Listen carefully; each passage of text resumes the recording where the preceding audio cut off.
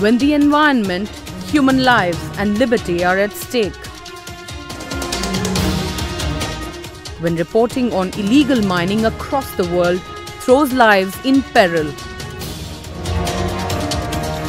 When journalists take on the mighty, regardless of threats, harassment, and even death. India is the third most dangerous country for journalists. That is when others must take their stories forward.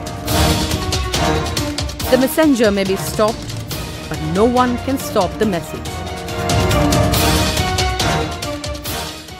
And so we bring to you the Green Blood Project